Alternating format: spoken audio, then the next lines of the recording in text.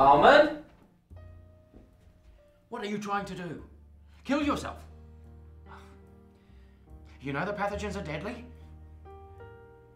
Almond? I was named Almond because a nurse said I looked like a nut when I was born. I'm the only person I know named after two food types.